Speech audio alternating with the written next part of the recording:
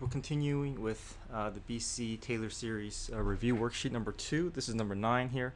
Uh, let f be the function given by f of x, sine of 5x plus pi over 4. Let p of x be the third degree Taylor polynomial. For f about x equals 0, find p of x. So for part A, we're going to build our Taylor polynomial using Taylor rule formula, which is the summation from n to k of the nth derivative evaluated at c over n factorial times x minus c to the nth power. So we're starting off with f of x. We know we have to write um, up to the third degree, so we have to find up to or down to the third derivative at least. So uh, we're going to find the derivative um, all the way down to the third derivative. So the derivative for sine of u, and the u value is um, all these uh, all the terms inside the parentheses. The derivative for sine of u is going to be cosine of u times u prime. So 5x derivative goes to 5. Pi over 4 is a constant, so it goes to 0. So 5x or uh, 5 plus 0 or just times 5.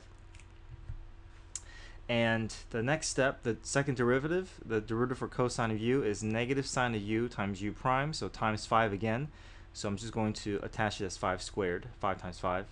The, the first 5 is from the previous derivative, and then uh, each time we're going to keep adding another multiple of 5.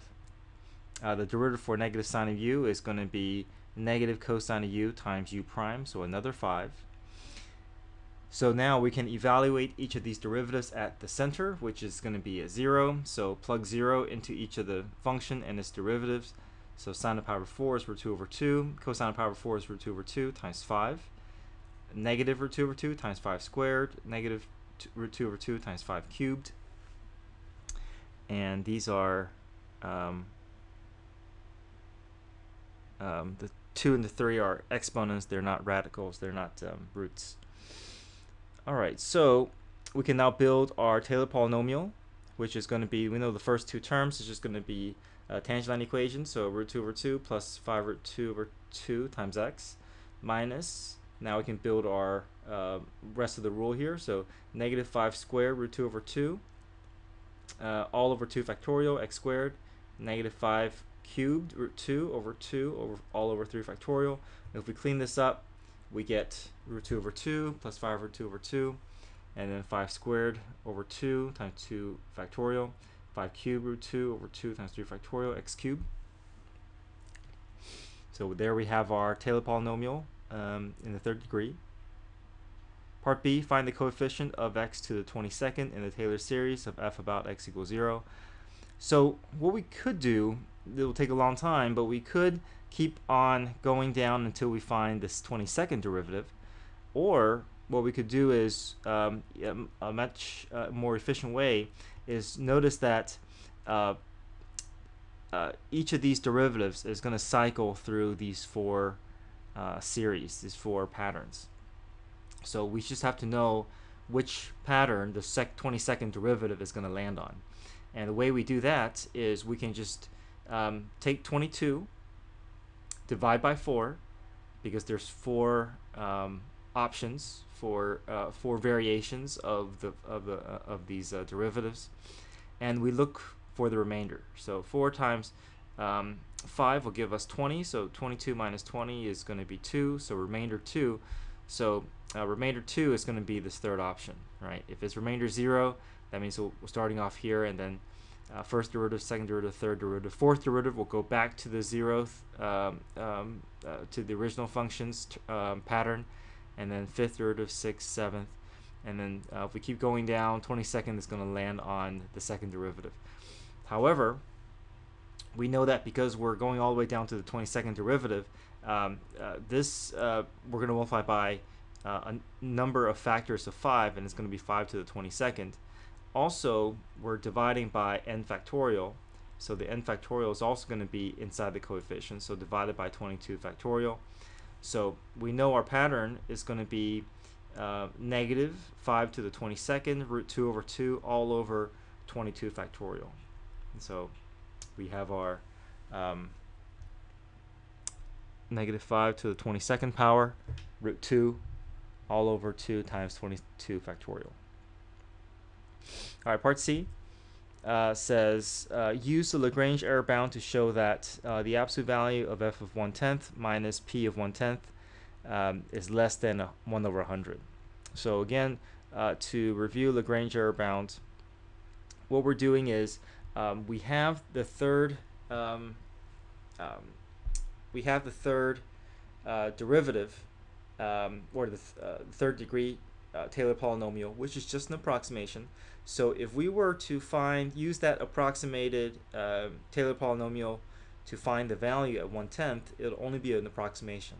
However, if we compare this approximation, whatever this value is, if we compare this approximation with the actual function evaluate at one tenth, which we don't know because we don't, uh, um, we're not able to work all the way down to uh, infinite number of terms.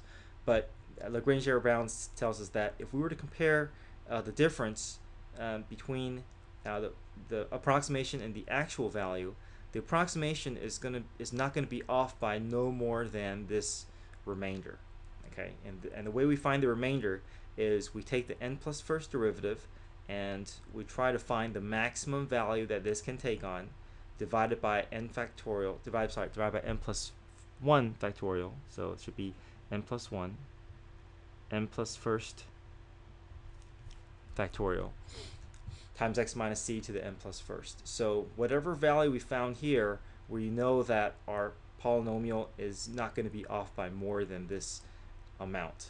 Okay, and the way we find this amount is we need to uh, go to the fourth derivative evaluated at z. So if we find the fourth derivative, that means we need to go down our derivative step one more time. So negative cosine of u times u prime uh, negative cosine of u becomes uh, sine of u times u prime. So we have another factor of 5 that we have to include. So if we were to evaluate uh, the fourth derivative evaluated at 0, it'll give us 625 root 2 over 2.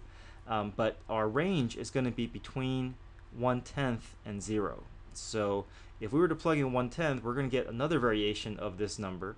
But however, if we want to try to find, we, we just want to find a safe upper bound for the fourth derivative. So no matter what value we plug in for the fourth derivative, it's always going to, because we are dealing with sine and cosine, it's always going to oscillate between negative 1 and 1.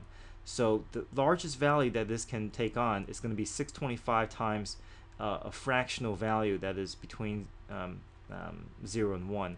So we know the maximum value that this could ever be will be 625. So if we use 625 to represent the fourth derivative evaluated at whatever uh, z value, um, then we, we have a safe upper bound. So we, we're trying to find the safe upper value um, to uh, produce our remainder or our error bound. So we'll replace the fourth derivative evaluate z with 625 divided by 3 plus 1 factorial, so 4 factorial. And then our x value is going to be the x value that we see here, so 1 tenth minus the center. The center is going to be 0 um, as given to us in the problem here about x equals 0. So 1 tenth minus 0 um, and will be 1 tenth. 1 tenth to the fourth will be 1 over um, 1,000. And if we take this, multiply by 625 over 4 factorial, we get 1 over 384. And we know 1 over 384 uh, um, will be the maximum error. So we know that this polynomial is not going to be um, off by um, more than 1 over 3 1 over 384 if we were to compare um, uh, between the polynomial and the exact value which is going to be um, safe because 1 over 384 is less than 1 over 100 Now we that's what we want to show we want to show that the difference between these two is going to be uh, less than 1 over 100 all right part D Part D says let g be the function given by g of x equals the definite integral from 0 to x of f of t. Write the third degree Taylor polynomial. So we have f of t, we need to find the definite integral from 0 to x of f of t. So f of t is given here, or our third degree Taylor polynomial. So we're going to take the definite integral of that. So we can go through power rule, so root 2 over 2x, and then uh, 5 root 2 over 2 times x squared over 2. Um, 25 root 2 over 4 times t cubed over 3. And here we have our third degree um, Taylor polynomial for g about x equals 0. Okay, next problem, number 10. Um, number 10 says the function f has Taylor series about x equals 2, converges for uh, f of x in, in the interval of convergence. Uh, the nth derivative is given here. The nth derivative value at 2 is n plus 1 factorial over 3 to the n. For n is greater than 1, greater than or equal to 1, f of 2 equals 1. Find, uh, write the first four terms and the general term of the Taylor series. So for part A, we're going to build using our Taylor rule. So um, will be the summation from 0 to k of the nth derivative evaluated at c over n factorial times x minus c to the nth. So we know the first two terms. It's just going to be um, equation of the tangent line. And then we can build the rest of the Taylor um, um polynomial. So the second derivative evaluated at 2 over 2 factorial. Sec third derivative evaluated at 2 over 3 factorial x minus 2 cubed. Okay. So we know f prime of 2 uh, all we need to do is to plug uh, the respective n value. The nth derivative is going to be the first derivative, so plug 1 in for n, so 1 plus 1 is 2. 3 to the first power is 3, so 2 over 3 will be the coefficient in front of the uh, uh variable. The second derivative evaluate at 2, so plug n in for 2, um, plug 2 in for n, so 2 plus 1 is 3, 3 factorial over 3 squared, all over 2 factorial will be the coefficient in front of the x minus 2 squared.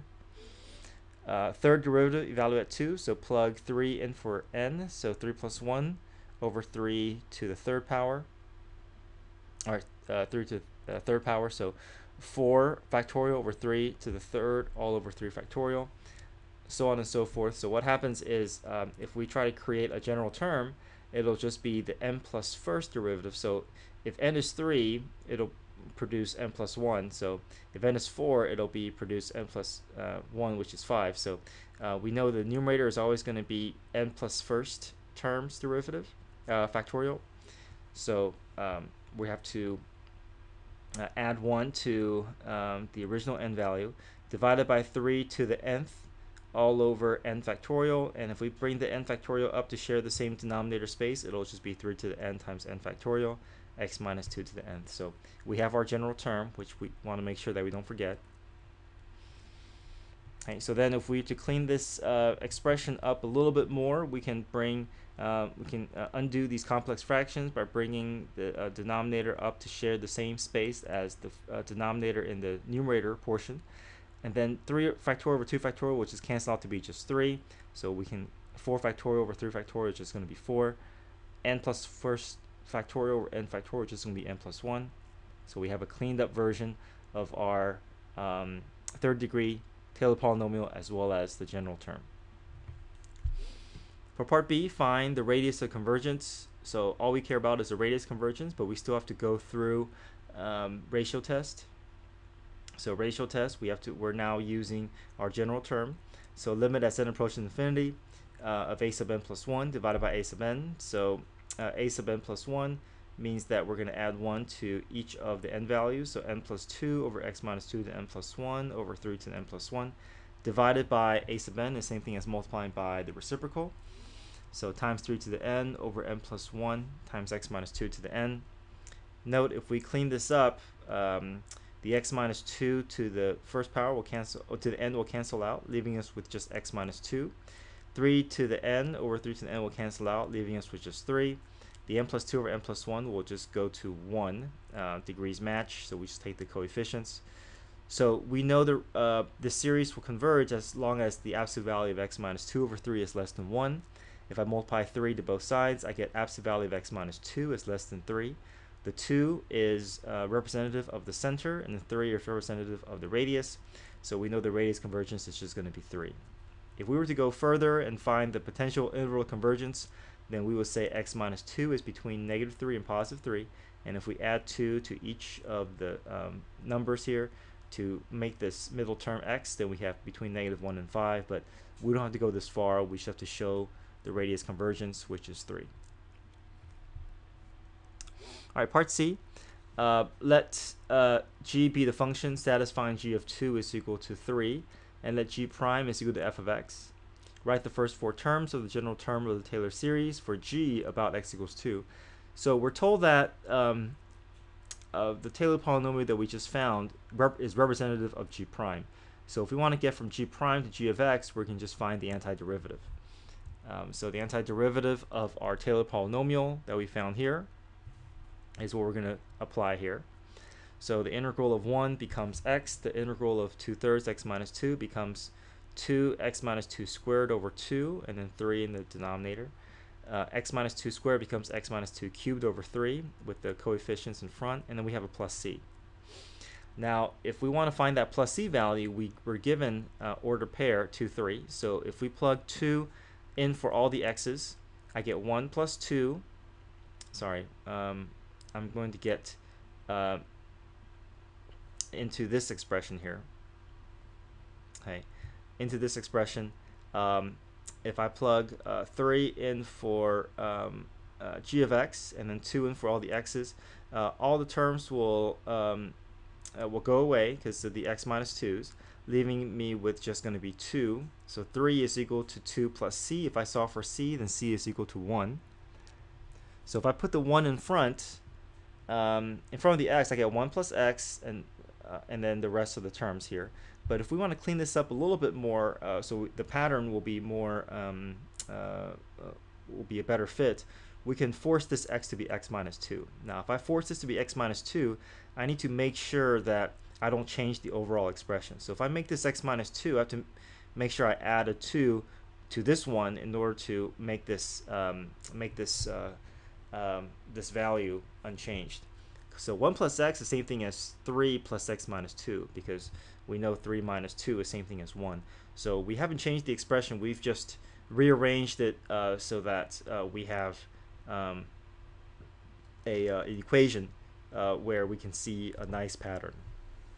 And if we were to write it in this form, we can see that this is going to be a geometric series, right? Every term is going to be multiplied by x minus 2 over 3.